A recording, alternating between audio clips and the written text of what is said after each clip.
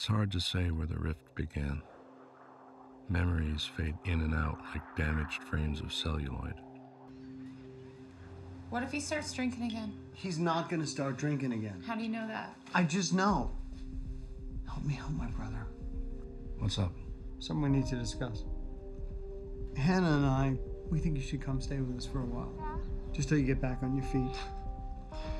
Do you like puzzles, Uncle Owen? I love puzzles.